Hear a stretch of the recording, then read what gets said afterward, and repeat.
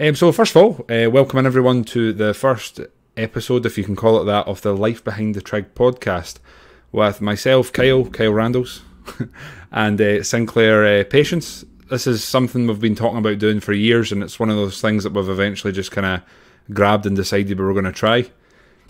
This will be something we'll probably do, what, weekly just now? think so, Kyle. Yeah, I reckon uh, if we go one a week, there's no games this summer, so um, be good to get get on the podcast once a week. We could uh, we could jump on do it three times a week, an average of three games a year, uh, a week. Sorry, rather. Three games a week over the summer. I know. I mean, I, I was uh, I was still slightly optimistic we'd have one or two, but I don't think that's going to be the case. How many games did you do last summer? I think I just tackled forty. That's high thirties. That's a that is a good number of games. I was struggling last year with uh, little Rosie arriving, kind of locked me down for a month before, and then six months after. So I was I was under ten games last year, which was tough going. But um, I kept seeing your name everywhere. oh no! Oh no! Uh, well, I mean, I did do that map thing where I, I, I like I posted every games I'd done, and did. Sort of, it, was, it was quite interesting. And then I remember Lucas coming to training, and he was like, "Oh, I did five more than you." I was like, "Oh, okay." Um, I'm sure. I'm sure hearing stories of like Alistair Gunn and Francis Brebner doing about 50 to 55 games. I'm madness. sure. I think Ryan Vierra as well was uh, was always right up there, but I think they were pretty much full time on games. So Lucas is quite similar. Eh? He's, yeah, he's just hammering them all summer. I remember at one point trying to claim that I'd done like 50 games a year, but um, 12 of them were me doing the Glenfiddich in the morning, then the same in the afternoon. I'm not sure that counts. Yeah, I think it does. It does. It's a weird one, the Glenfiddich, because uh, I think for, for Scottish boys, it's how a lot of um, a lot of throwers get into the games, but you can't really start till you're. Uh, I think it's eighteen, isn't it? Because you can win whiskey as prizes. So yeah, legally, yeah, yeah. whiskey's a. I mean, it's part of your lunchbox as well. So you know exactly, I mean? you get your wee miniatures. But yeah, uh, yeah. You, there was always a, there probably there was always a running joke that uh, you you seem to do the tw- under 25s for about 50 years. Uh, well, I can let you in on a secret. It was actually um, Willie Robertson. For those that don't know you, that was who introduced me to the games. Um, to say he was a character would be an understatement. Uh, he he told me when I was about 16 to come up and do a Glenfiddich games, and I think it was Old Meldrum. And I didn't know any better. We turned up, and he went over and spoke to the. Uh, I think it was Libby at the time, and he'd obviously told her I was 18 and this and that, and I was just chatting away. And I think I only managed to get a prize, and I think the hammer yeah. Um, and at the end of the day, I got my whiskey and that, and he was like, "Oh, I'll be taking that." And then I, I don't know who it was. It might have been yourself or John, but somebody was like, "Oh, so what age are you, Kyle?" Blah blah blah. And I was like, "Oh, I'm 16." So I think that's why. I think that's how that joke started, actually, because it, it, did seem like you were there for a long, long time. That, that's how the illusion um, came about. Willie, Willie sort of started you out. Eh? He was, uh, but you, you kind of came from athletics more, didn't you? Yeah. So basically, I. Uh, I mean, here's here's a joke to start off this story. So I started out as a sprinter uh, with athletics. Um, believe it or not, I've got you still you still play on the wing, do you know? Centre, mate, number twelve with rugby, right? That's where that's where the glory the glory is to be had. but uh, my, my, my sort of journey through throwing um, started out as a sprinter. Uh, when I was nine, nine, I started uh, running for the Falkirk Harriers, which are based in my local town of Falkirk. I competed there in like 100s, 200s, uh, then started doing indoors and found that I don't know if I've got wonky legs, but running in the Kelvin Hall on the indoor track, I just seemed to be pretty good at it. So I actually had Scottish records from, I think it was under under 11 the second year, which was the age group. So it was under 11, under 13, under 13, then under 15. Did you? Uh, I actually Scot- didn't know that. Uh, yes, Scott, gold at the Scottish Champs, and I think uh, the team I was in has Scottish records. Uh, for one, 60 or for 100? Oh, no, it was 200. The Kelvin oh, Hall, you know, the indoors, the 200s. Yeah. So, yeah, fun yeah. fact one of my team members throughout that period was actually Grant Plenderleith. I'm sure you know him. Oh, yeah, yeah. yeah well, so I went to Loughborough there, what, 2016? And he was. Uh, he was he's still running, isn't he? Yeah, that's still what I mean. I, th- I, think he's the only person from the teams that's still uh, involved with athletics. Um, yeah, yeah. He's uh, he's quick as well. He's oh, getting yeah. quicker too. He, I know. Because he, he, must is he same age as you then? I think he's slightly older than me. So you know, in athletics, you have like uh, you have like an under 13 first year and then a second year. Yeah. So yeah, whenever I was yeah. in the first year, he was in the second, but we were the same year at school. Uh, yeah. Uh, yeah. But yeah, basically, anyway, yeah. I, I did the I did the sprinting, and then I started getting a lot taller. and I put on um, quite a bit of weight. Insert incredible bulk joke. I was going to say, it was the first incredible bulk? so I put on a fair bit of weight, and then Willie came up to me and was like, "Have you ever tried throwing?" I was like, oh, "I've done a bit of shot putt, like when whenever the club needed me." He goes, "I mean, I'm watching you run." He says, "I think you'd be much better fitted to throwing." So I started doing a bit of shot putt, a bit of hammer, a bit of discus, uh, and the one thing he always said to me was, "You're not going to pick a throwing event and start doing it yet. We'll wait till you're like under 17." So yeah. I uh, started out doing putt uh, reluctantly discus and uh, the hammer, the, the wire hammer, the Olympic hammer. Um, and I remember throwing them, throwing them, throwing them, and I ended up basically falling in love with uh, the wire hammer. Uh, I competed for Scotland at like um, age group level for the Scottish schools, UK schools. I did all that, uh, all that nonsense, uh, and then I remember getting handed a Scots hammer for the first time when I was 14, and Willie was like, "Go and throw that." And I think he gave me a 16, and I remember throwing it 100 feet, and I didn't mean anything to me at the time, but it was like that's not a bad throw. That's not a bad throw. And was that with no spikes or anything? Uh, that was no spikes. No, uh, it, it, did get me to use tacky, and it gave me no no equipment or the, the, the ability to take it off. Yeah, um, yeah. So I was running about with tacky for like a day. Uh, but yeah, I, have basically been throwing hammer since I was 14, which is now 14 years. I just turned 28 uh, the end of last year. Um, my first Highland Games is a story. uh, Willie told me I was going to an athletics competition. I got in the car with him at his house. I got dropped off by my mum, I think. I think I was 15, and he, he took me along to what I assume was a, an athletics competition that turned out to be Shotts Highland Games. And we walked okay. in, and I thought, oh, it's strange. There's loads of pipe bands and people in kilts at an athletics uh, competition. And if you've ever been to Shotts, it's a, a, a football stadium you actually compete in. And I walked into the field and he walked out and I was like, oh, well, he's got his kilt with him. And then all of a sudden it dawned on me. And here's a, here's a story for you. So there was four of us competing. If I remember correctly, it was uh, Jason, myself, I think the third person, I want to say it was Gregor Edmunds. And then the fourth person, do you know who it was? It was Hamish Davidson. Oh, nice, nice. And, uh, you see, so it's probably worth saying Shotts is an amateur game. So in Scotland, um, there's always been quite a divide. Not so much now because at the end of the day, we, we all win prize money. But I think with with the amateur professional divide, it used to be pretty strict. And if you um, competed amateur, you couldn't then compete in professional games. So uh, I came up the same way as you um, through amateur games, but I'll let you go on about your your, your first game. So, aye, Shotts. Yeah, uh, I finished. Uh, I finished third overall, and I managed to beat uh, Hamish and everything bar the caber, uh, because I'd never, I'd never really touched a caber before in my life. Hamish and, must have been getting on by then, though. Eh? Oh, it must have been what in his late fifties, sixty. Yeah, like, uh, not quite. Might might have been definitely fifties. Yeah, that would have been yeah. two thousand and six, two thousand and seven. Yeah, he'd have definitely been in his fifties.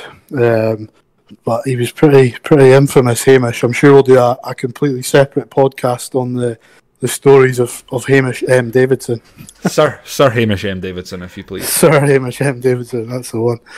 Um, the third overall, your first ever games isn't bad. Uh, well, three out of four, so technically I beat someone, even if it was a, a an an older thrower. But uh, he, he basically said he was just there to chance his arm, and that was the first time I met Hamish. Um, but yeah, beyond that, as, as I said, Willie got me sort of to, to go up and try the my hand at Old Meldrum in the what we call the Glenfiddich Championship.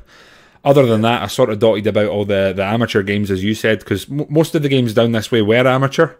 Um, or they yeah. is it SAL they call them the SAL games? I think it's I think it's is it Scottish Athletics something, something. they're governed by Scottish Athletics. But yeah, yeah, I was I was the same up up north. Started with amateur games because as a kid, I was obviously dragged every week, dragged around Highland Games with my, with my dad. um, but then I didn't really seriously start throwing. I, I got into rugby, um, moved moved away to university, and played played rugby at a decent level for sort of close to ten years. And my first year, kind of back into Highland Games seriously, was 2009, um, and I went on my first ever kind of overseas trip with that to Minnesota. I think oh, it was. yeah, I've been the there as well. amateur worlds. Ah, that's right. You've you've been over. Is it Kevin Kevin Dupree? Kevin Dupree, yeah, in Florida. Uh, he's a good good guy. Good guy. So went over there and uh, threw against a number of guys: Jeremy Gillingham, Nathan Nathan Burchett, Ryan Stewart, so really good field, but um, managed to managed to win that, which was a good good first trip to be honest. Uh, ever, ever, since then, things have been pretty uh, pretty challenging with the trips, but now that was a, a really good trip. Would that probably would that be the would that be the same year I threw against you at uh, Bathgate Highland Games?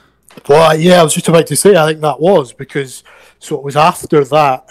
I think that year I'd mainly been doing uh, the under twenty five circuit, but I, I also threw in a couple of uh, a couple of amateur games as well. So yeah, I, I, think that was probably the first time we threw against each other was two thousand and nine, um, and then obviously you you then started throwing in the the under twenty fives, but by that point I was already up to the to the professional circuit because I think I jumped to under 25s at like 22 or something. I was I was quite young. Yeah. And at that stage, if, if you'd won it once, you weren't allowed to stay in.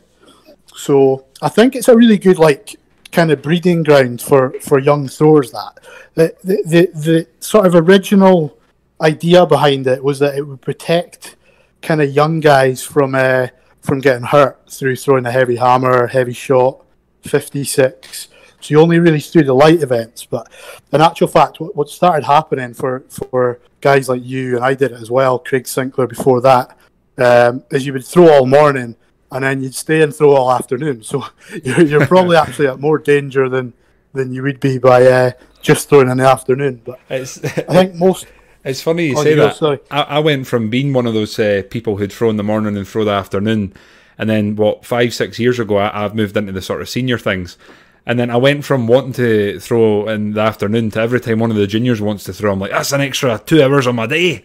Uh, yeah, it's true. It's true. I, th- I, think what they should go back to and uh, what it used to be was that if you won an event in the morning, you could then compete in that event in the afternoon, just that one event. Yeah, that kind of made sense because what you what you've had over the last five six years is you, you usually have five or six under twenty five staying for the afternoon. So straight away, that's kind of adding a good hour and a half to two hours to your day. I've seen myself kind of leave the field about quarter to seven at Glenfiddich games, um, which which isn't the best. You know, it's a it's a tough day Especially, when it goes on for that long. Imagine if that's your Saturday and you're competing the Sunday. Exactly, I know, which we often are, eh? When, yeah. when we're kind of, well, especially you doing forty games. oh no, uh, no. that's tough. I think my my most ever is about twenty five. Um, I've just never with with working, I've always struggled just to get the time to, to do that many games because out of your forty, I bet fifteen would probably be midweek, eh? Um, there'd be at least ten. Put it that way, yeah.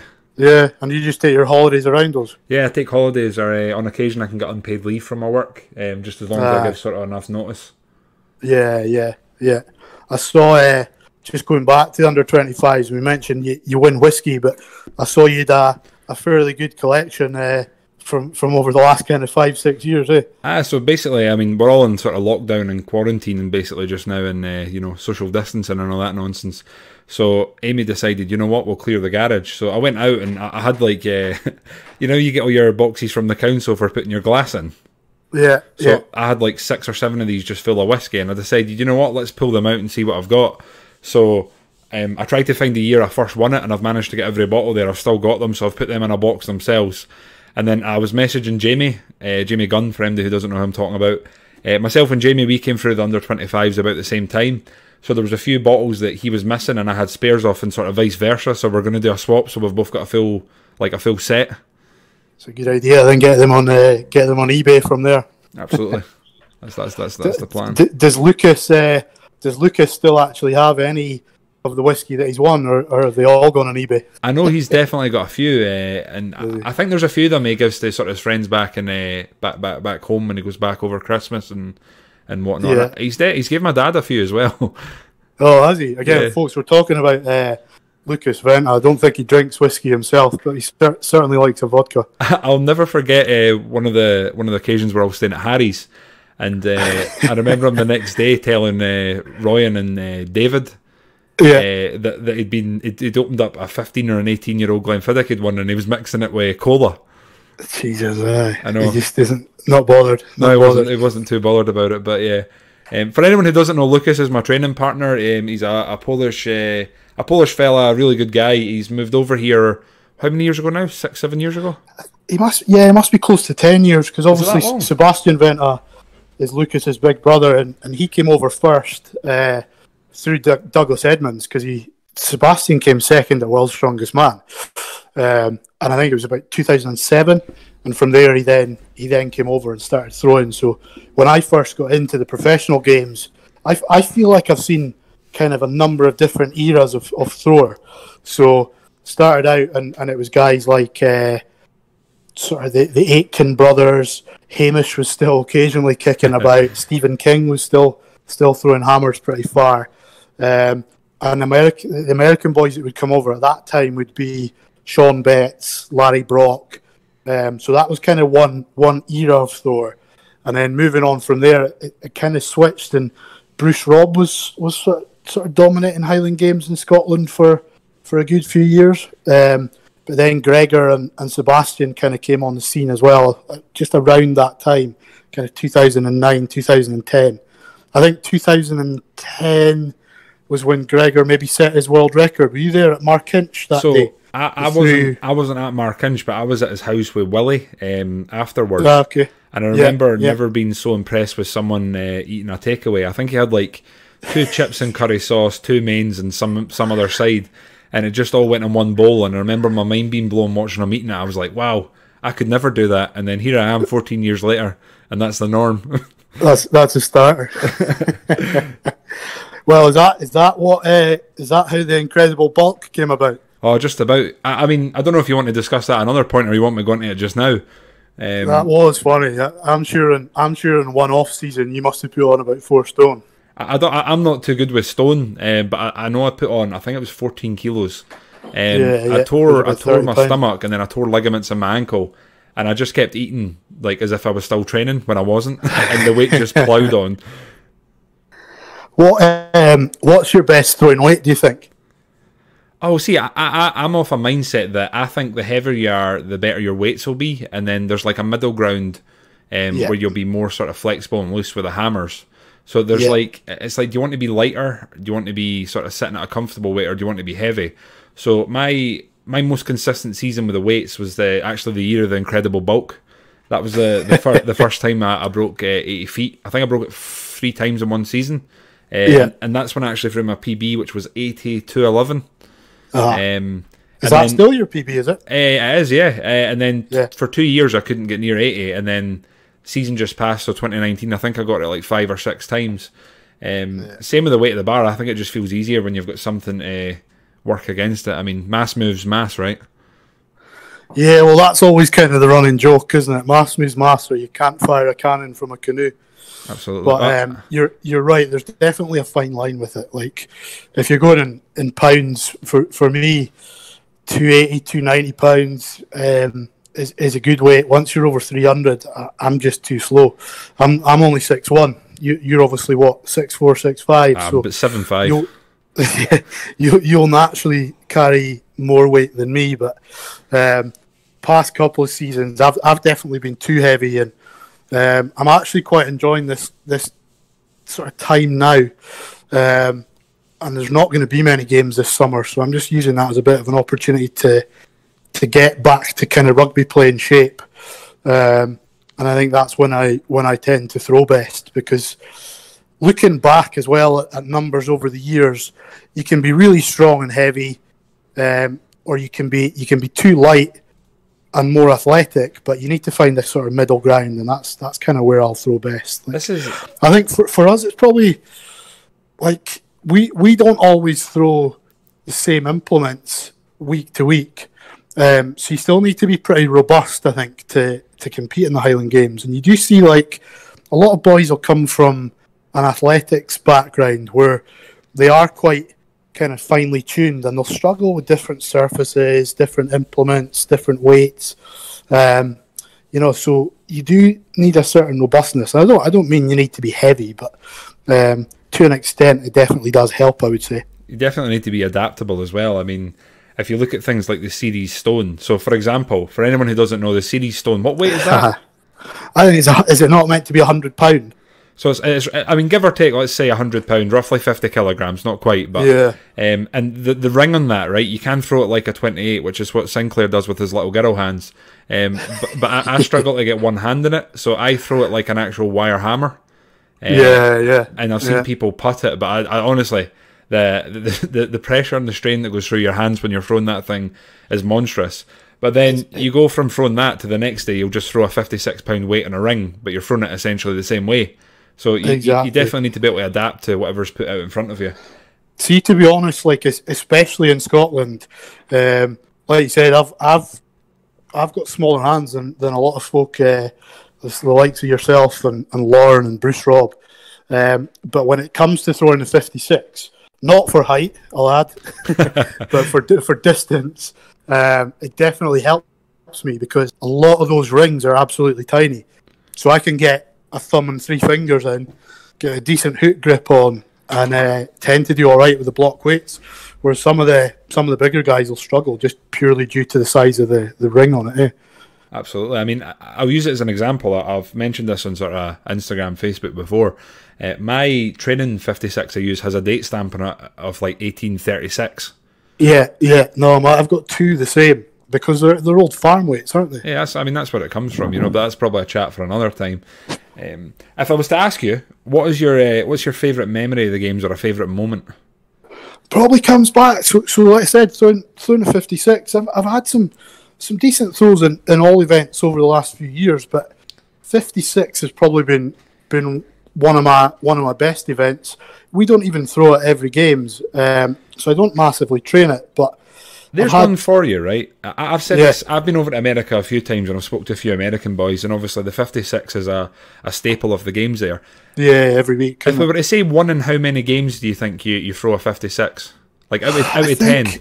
There, there tend to be more at the North games, uh, like the Highlands. Yeah. Grampian, there aren't that many, and, and when they are in the competition, they're, they're not part of the Glenfiddich overall points. Yeah. So people don't tend to, to always take it that seriously. But I'd say maybe one in four. I think you're probably about about right. a quarter of our games will have a, a 56 for distance. Um, but yeah, I think it was 2016. Um, I won the I won the 56 for distance, and I also won the.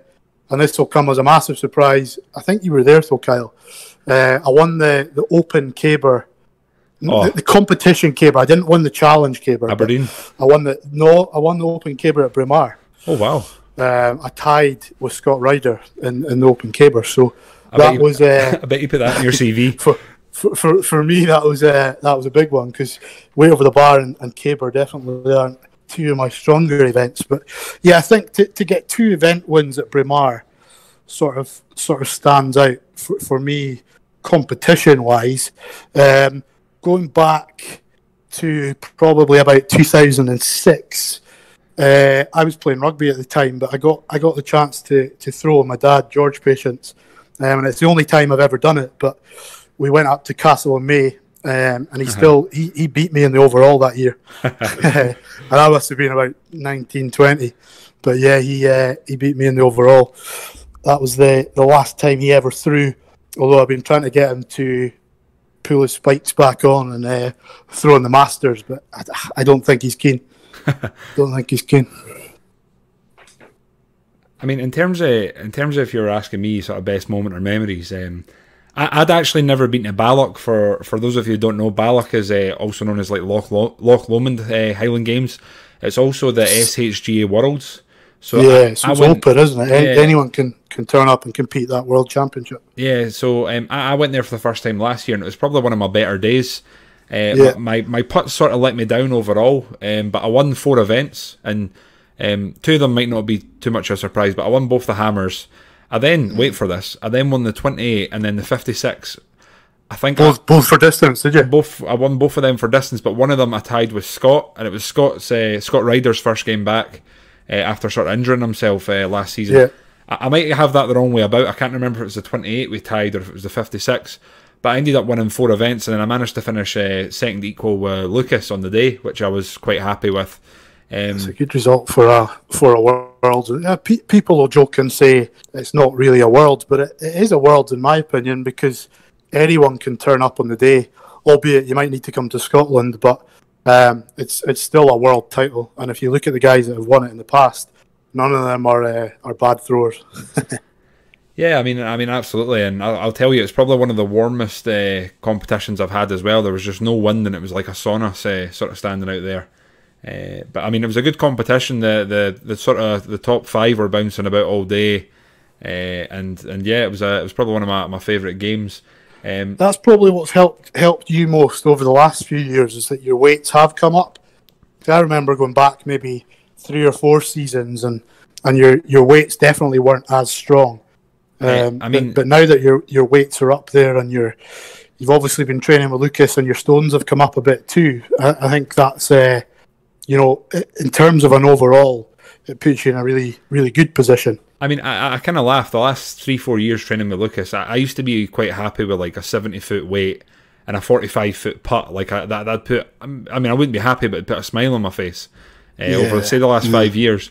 Whereas last year, if I wasn't putting 50, I was like annoyed at myself. And a good yeah, day. so 80 50 becomes the, the new sort of standard, eh? Yeah, I mean, genuinely, that's what happened. I mean, towards the end of the year, my, my weight just clicked, and I think I threw 80 like five times. Um, yeah. And I was thinking, oh, yeah. PB, I'm going to get a PB, and then that wasn't to be. And then my, my putts now, like mid to low 50s, is what I, I really want to be about. But I mean, obviously, you always aim for the stars, and you, you know, you know, you, they land on the moon. yeah, it's it's um, you've you've obviously switched to the to the glide. I've seen you throw pretty far with a, a modified South African front on as well. That's what I'll tend to stick with, and all going well, I'll, I'll, you know, I'll usually be over 50 and I think can, at best, I think in Crieff, I've, I've hit a, a 54. Um, I quite like the front on. I feel like even even if you're tired some days, if things, you know, if you get in the right position, you just kind of thump it, you'll right? hit it well. Whereas I feel with a glide, you kind of need to be be on the ball the whole time. And if you're tired, it's it's much tougher See, for a guy my size anyway. For, for you, because you've got longer levers, it, it might be slightly different. But if you've not got that pop for the glide, you know, you're, you're going to struggle a little bit.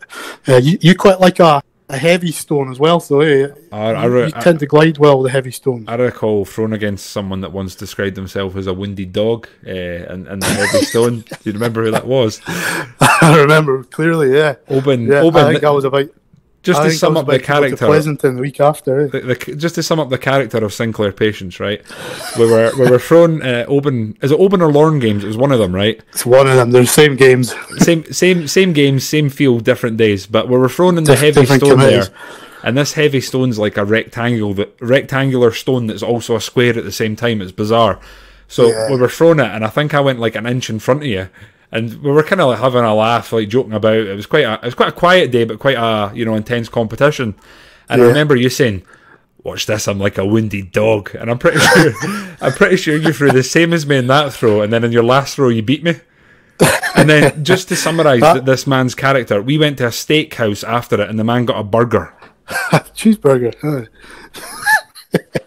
steak burger, steak burger. It's not the same.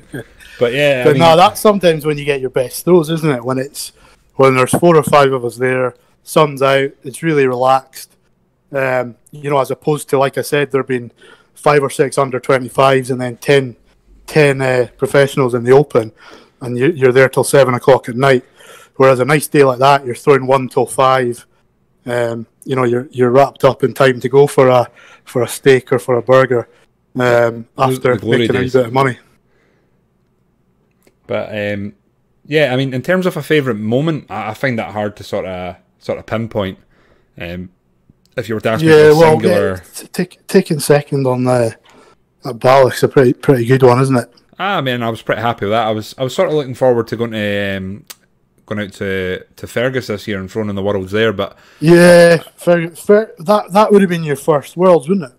Yeah, I mean your your first Webster's worlds are. Um, yeah, yeah, no, but it's a big one. I, obviously, i think I've done five or six worlds now, and my best uh, best result at a world has been sixth place. The last last one I went to um, was a bit of a shit show. I went to I went to Canada, uh, which was a great games, but didn't didn't throw well at all. So Victoria, really nice games. I'd love to go back, um, but no, I didn't, didn't have a good one. Basically, came last. Sure Dan Tennyson tore his bicep off, so Jesus. he didn't finish the games. But uh, I'd definitely like to, to get back to Worlds, hopefully with yourself and uh, and Lorne, who's who's sort of Lorne's classed as a Scot, but I reckon we can class him as a Canadian now. Eh? He's see been away more than two years. I see what you're doing. I like it. I can get on board with that. But no, it'd be good to go over with you um, at some point. But mind you, Jamie's throwing very well at the moment too. So I think I think the next five years in Scotland's going to be really competitive. Um, you know, Jamie Gunn's throwing very well. Murdo Masterton again is he had an injury last season, but but he's definitely on the way up.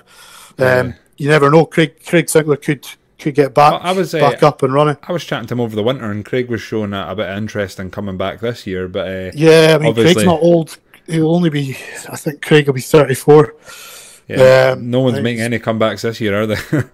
No, exactly. But I suppose it might it might give uh, a few guys an opportunity just to get back in shape and, and get some reps in. So, no, I think the next four or five years, and then obviously you've got the foreign boys as well. Vlad, I don't think Vlad's going anywhere for the next ten years. So uh, Vlad Um, and then Colin and Kyle, uh, Colin the Bar. That's right. they Yeah, I mean, I was disappointed not to meet uh, the guys last year. Just like I said, I, I'd probably under under ten games last year, but hopefully, um, hopefully meet them in the next couple of seasons. But yeah, F- Fergus, you were sort of mentioning there. It's a shame they're not getting to host the the Worlds this year. It's a, it's it's probably one of my favourite games.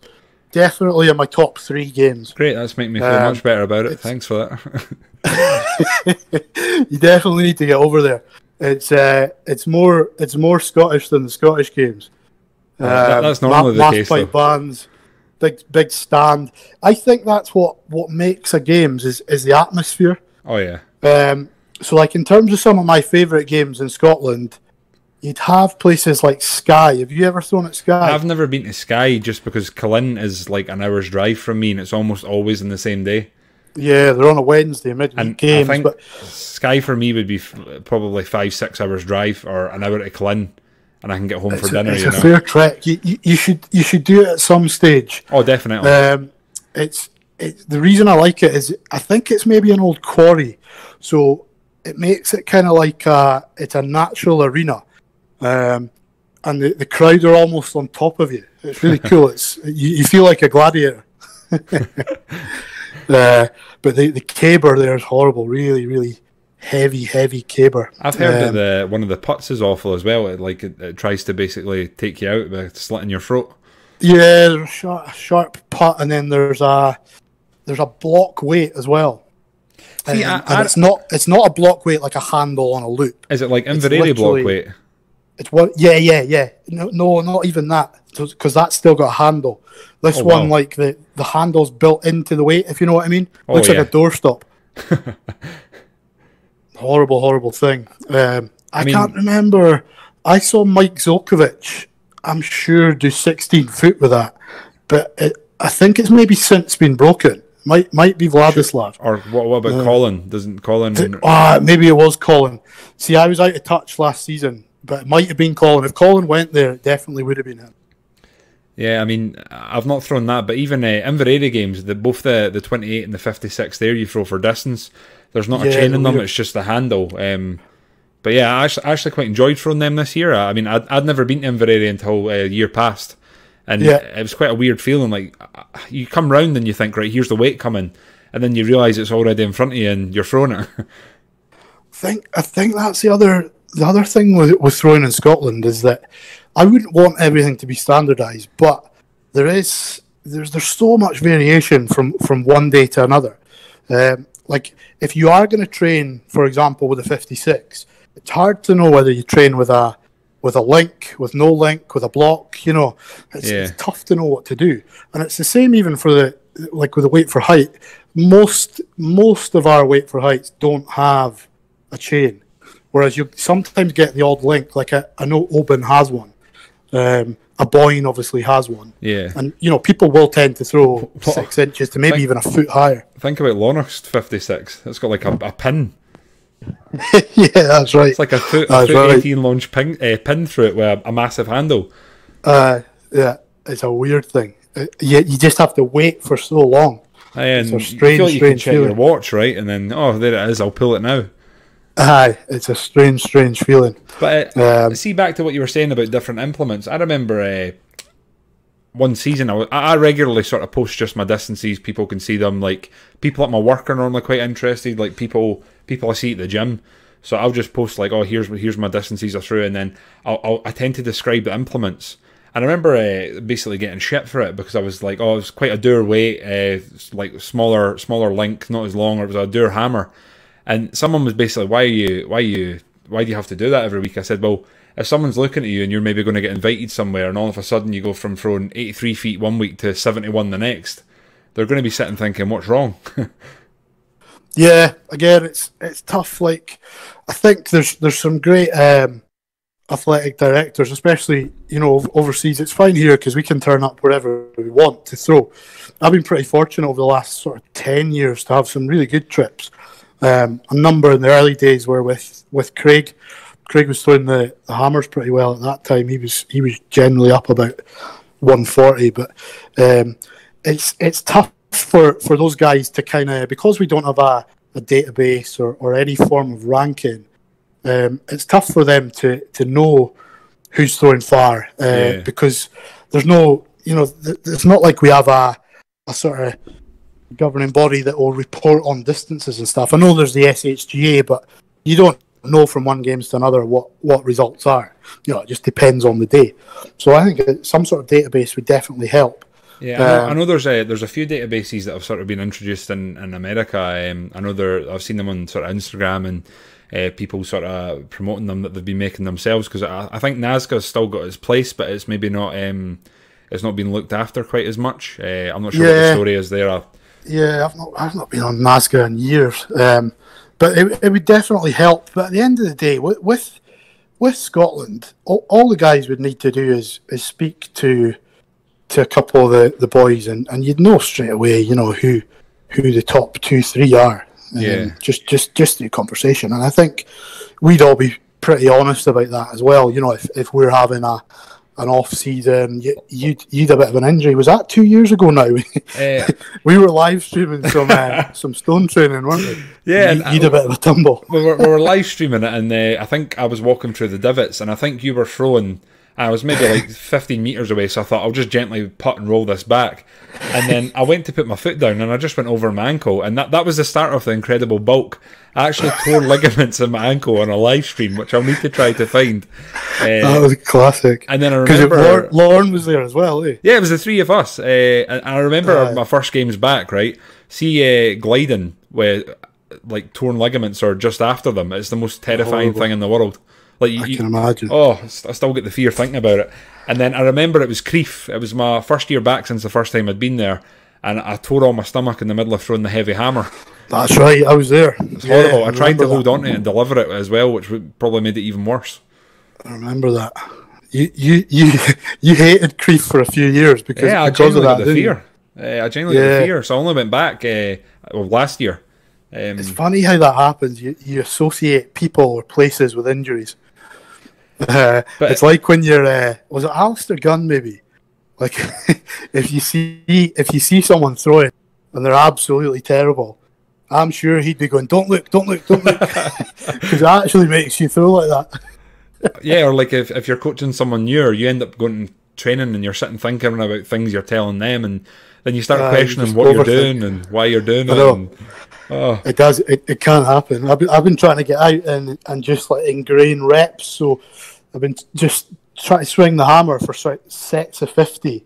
Maybe do five sets for the light and then onto the heavy, and definitely works. But then you come, you, you think you're going to come out and throw ten foot further, but I still have a really bad tendency to pull in on the release. So it, it doesn't always work.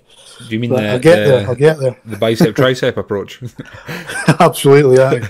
A few, there's a few plays like that. It's uh, it's funny. I'm, I've managed to over the last sort of few years. Uh, whenever the gym I train, it was sort of throwing out weights. They just go out in the, the sort of back, and I'd I'd grab them because they're going in the skip essentially. So yeah. I, have got uh, about 70k. I've actually got 110k in weights, but um, I've only got I've got 325k plates and a 15 and I, I, don't know about loading one side of the bar 10 kilos more than the other. So I've I've been doing uh, I've actually just been doing deadlifts with like 120 weight with 256s hanging off, And Oh, that- have you? that- I mean, I've just been doing ten sets of ten uh, once a week, and see my Yeah. forearms the first week. I, I'm honestly not joking. You typing was a typing was a chore.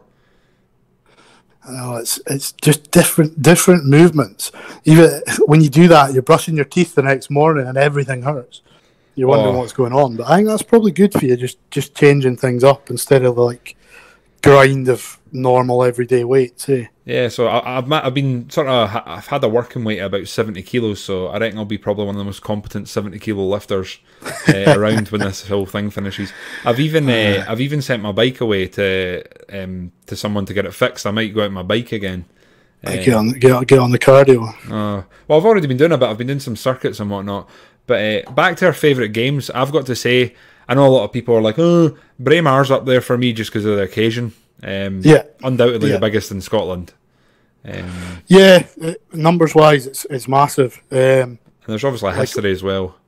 Yeah, there's a few. There's a few of the uh, the Grampian games that are, are, are like that. They're they're kind of prestigious. You, you know, you'd probably have Aboyne, Lonach, Ballater stands Braemar. out for me. I, I'm a big fan of Ballater games, but I'm. Baller's the same. Yeah, it's, it's another big one, isn't it? See, to Um, be honest, all, all I mean, all if not most of the the Glenfiddich games, they all stand out to me. Your your Grampian games, they're all they're all pretty special. And then most of the games down here, I've got a lot of memories with them because that's what I grew up doing. Uh, you know, what I mean, going going with my dad, my granddad to most of the games, and and them having a- having a little beverage whilst we're there, and yeah, no, for exactly. like some food on the way back.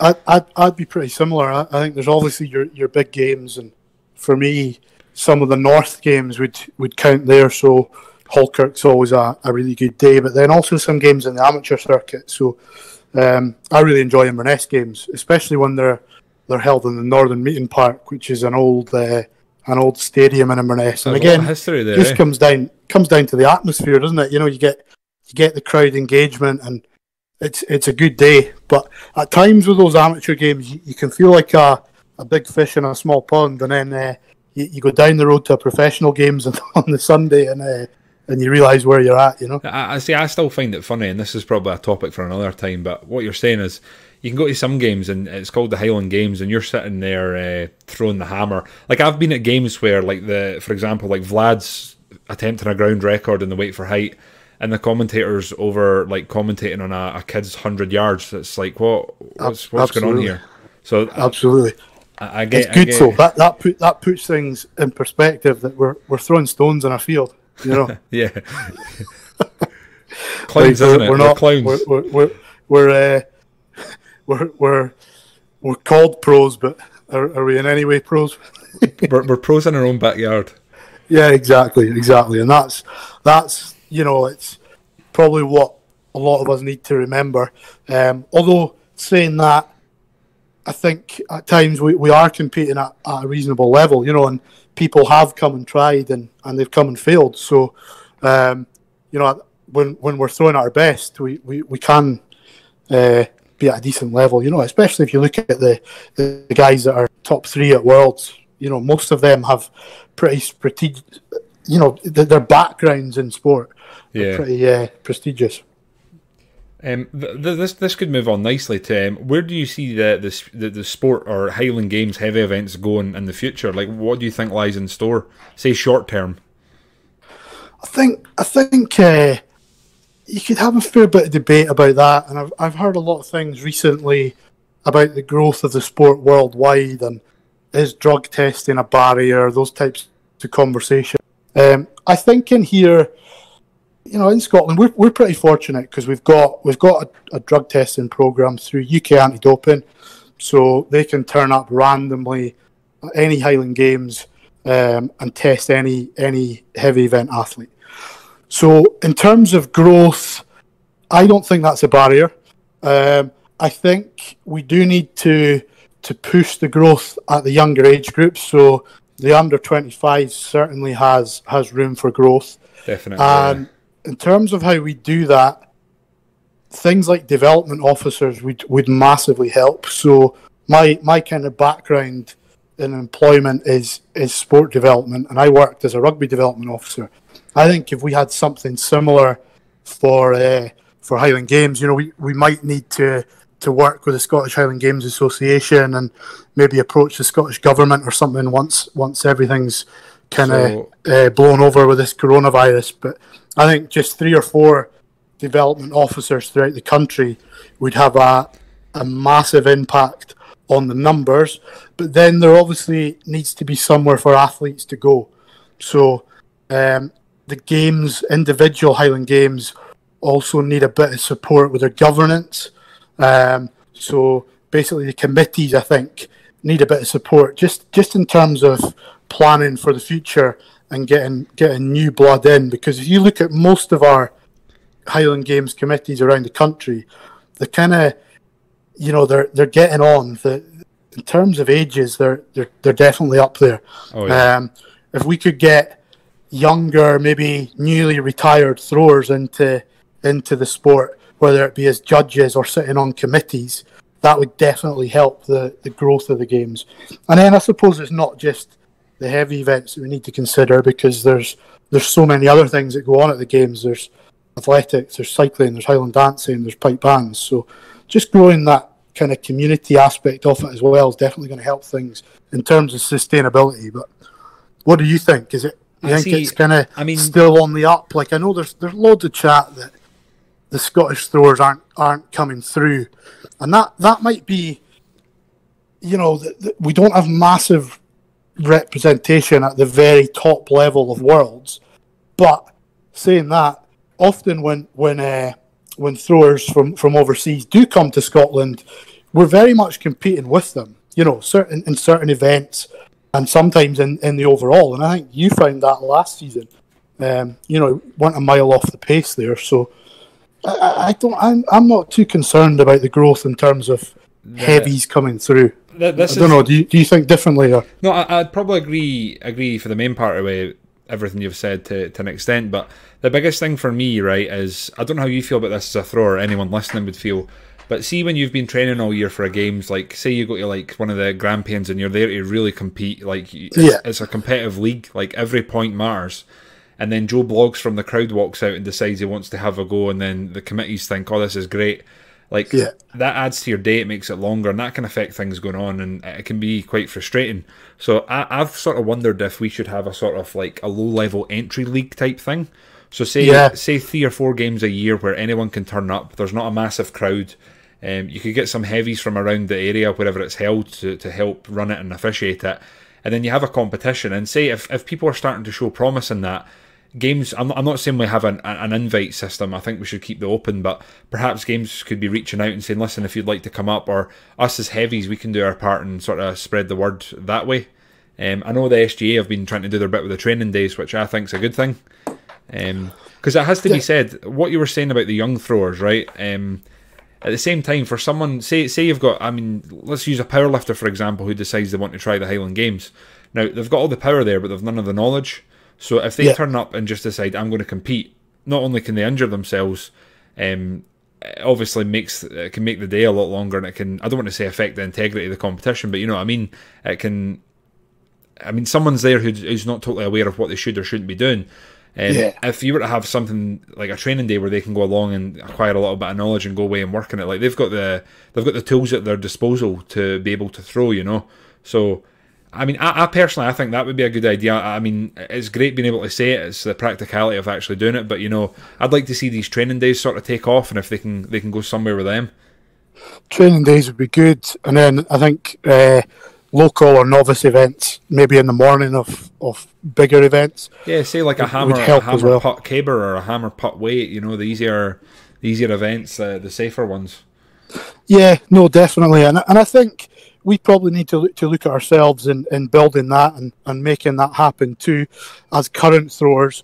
Um, but we probably also have a have a bit of a role in getting getting past throwers involved as well, and yeah. that's that's kind of what we're going to try and do with this podcast as well, isn't it? We're going, I mean, over the next number of months when we're not we're not able to compete, we're we're hoping to to, to get these guys on the podcast and um, have them talk about their experiences in the games, what it's kind of brought them, and where they'd, lead, they'd maybe like to see the sport go. I think. Yeah, absolutely. I mean, that's the thing. It's a, an an ancient sport, we'll call it, with so many traditions. But I mean, the, how does it move into the modern age? uh, not not just in terms of capturing an audience, but also participants. Um, definitely, definitely. But uh, but yeah, I mean the the future is something that God you could talk about this for for an eternity, and you, would you'd always come up with new points and, and, and new reasons that you can uh, you can argue. no, definitely, but no, I'm looking forward to uh, to speaking initially to some of these to some of these ex throwers, and then who knows, we'll maybe we'll maybe look to expand and uh, go overseas with this as well. Eh? Oh yeah, I mean uh, they only need to jump into a voice call and chat away. Um, where where this is a big question, right? I hope you're sit down, you've put your seatbelt on. Um, what, what lies in Sinclair Patience's future in the Highland oof, Games? Oof, oof. Um, no, good question. I think I think last year, like I said to you, I'd I had a pretty frustrating uh, year last year, and maybe even the year before. I've I've had a fair bit of movement in jobs, um, and we obviously had a, a wee one arrive last year my dad was phoning me every weekend and he'd, he'd been at more Highland games than me. it was absolutely winding me up. Um, hearing about all these throws and all these nice days at the games. So I'd, uh, I'm, I'm training hard at the moment and, and my main focus is kind of trying to just cut a bit of weight and, and like I said, get myself back to more sort of rugby shape. Um, that, that tends to be where I throw my best. Um, because I played a lot of rugby in, in games years, I'm pro- probably not that old. You know, you, have probably thrown uh, in games years for longer than I have. Uh, so I'd certainly like to think I can still have, have personal bests in, in every single event. Um, I'm 33 at the moment, and I'd like a, like to think I'd I'd throw till I'm kind of late 30s, maybe even 40. So um, definitely get back to worlds, uh, be one of the, the, the top three Scots and yeah, just just compete well and consistently over the next kind of five six years. I think is is my uh, my aim. Yourself makes sense. I think all that's achievable for for me. I wouldn't mind. Uh, I mean, it was going to happen this year, but go go to one of the one of the Webster's worlds and get a sort of eyes on there for for what what's involved yeah. with it and what what what lies with that. Um, I was looking forward to that. Uh, another, I, I, really enjoyed the Glenfiddich the last two years. It's been kind of close with myself and Lucas, and obviously Jamie's been uh, been there. Um, I know he's been um, off doing some of the IHGF, like uh, the series things and that, so he misses a few games. Yeah. Um, but it's been a good competition, and I think this year Braemar sort of went down to, uh, and it was a very a very close run thing. So I was looking forward to this year uh, having another episode of the fighting. Um, but uh, obviously that's not going to be, and yeah, I, I, just want to try and stay consistent. The biggest thing for me is I experienced it one year with two sort of bad injuries is just to try and stay injury free. There's nothing worse than going to a games and having to throw it like 75 80% because you're not 100%, sure 100% and even if you haven't been training as you know you should have been like last year I mentioned that I did under 10 and one of them was was Halkirk um, and I, by no means through through badly like I was still about 80 in the weight and uh, you know, it wasn't a bad, bad day, but just nowhere near what I knew I, I should be doing. And then um, you have that and, thought and in the you just get really, really frustrated. Yeah, yeah. The thoughts in the uh, back of your head: if I'd been training, what could I just have done? exactly, exactly. And it's not even about money or anything. You know, it's it's just about knowing in yourself that, that you're not, and and nobody else cares. Like literally nobody else cares. you know, you, you were saying some people will pick up your distances on on Facebook, um, but it's quite a it's quite a small world, the Highland Games, and nobody really knows um, what what those distances mean apart from ourselves. You know. Yeah. Uh, I mean, for us, they matter and that's that's probably the most important thing. It's, it's basically we, we, need something to grasp onto. It's like an imperial uh, imperial measurements in a, a, metric world is what, what we're basically reporting on. You know what I mean? exactly. mo- most things in uh, most things in Scotland and um, reluctantly in Britain are are in uh, imperial, and we here's we feet inches, stone pounds. I look at everything that way now, though. Yeah. Someone asks me how big my garden is. Oh well, you know what I mean. You start you start to think about the world that way. Patience Manor. Surely your garden will be at least uh, a couple of acres, no? you couldn't throw the hammer in it anyway. No, no, no. I've been in my garden swinging the hammer. That's about all I maybe, can Maybe not even the weight now. but uh, yeah, no. So I think I think we've obviously both got got good goals, and, and hopefully we we will be kind of competing well against each other for the next five, six years, but maybe also uh, overseas as well. You know, that, that'd be pretty cool to, to get a trip, especially if you could get over to the likes of Fergus, which, like I said, is a really great games, and throw with Lorne. Lorne, Lorne won it, I think, last year. Um, oh, yeah, Jamie that, went over, cool, didn't Jamie went over, yeah, yeah. It, would be cool to get that little uh, that little crew back. So I mean, it was kind of you and Jamie coming up. I came up with Craig Sinclair, and then in, in the middle, um, throwing, throwing far at the time was was Lorne. Yeah. So it'd be it'd be cool to get us uh, get us all in the same field again. You could say we get the band back together. Exactly, exactly. Um, here's a, an interesting thing that occurred to me the other day. So I uh, I was obviously meant to go out to Malaysia. Um, of course, it was like the day. I think it was a day or two days before the whole quarantine thing kicked in. So I was actually meant to be in Malaysia competing about a month, two months ago, but that went that went tits up. Potentially my first games this year, right? Other than being super optimistic about even having won games in Scotland, my next Highland Games I compete in could technically be uh, in New Zealand at New Year and even that's, that's right. in doubt. That's right. I heard you're heading over. That that'll be a that'll be a good uh, a good trip. That one. I'd love to go to New Zealand just because of the rugby connection as well. Yeah. So I mean, it's kind of cool scary place. that.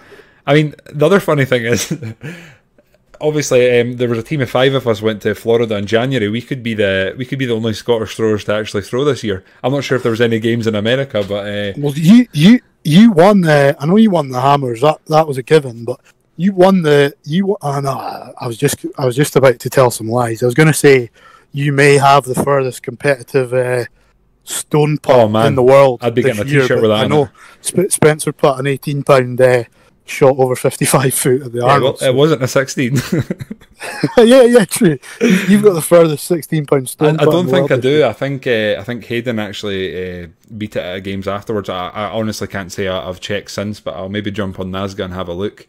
Um, but yeah, I mean, uh, I suppose we could do episode two next week if uh, if there's enough interest for it, and we can maybe get some points. Yeah, together. well, th- things things are pretty pretty quiet um, at the moment. But if, if people want to get in touch with us, they can just fire us a message on on Facebook, here on Instagram. Um, and if anyone wants to be on the podcast as well, get get in touch with us, and we'll easily uh, come on and have a bit of a chat. We've got nothing better to do.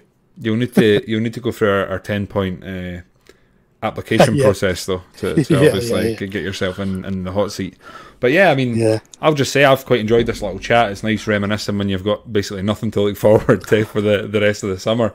So absolutely, yeah, I nah, mean, it's been good. If folks do have suggestions, as uh, Sinclair said, just ping us a message on any of the social media. If there's any topics you'd like discussed, or I mean, I guess I, I could offer bad advice. I suppose you've got some good advice you could offer, but we can always do that. But uh, yeah, just thank thanks to anybody for listening, and we'll hopefully catch you on the next one. Good stuff, right? Cheers, Kyle. I'll catch you soon. Take it easy.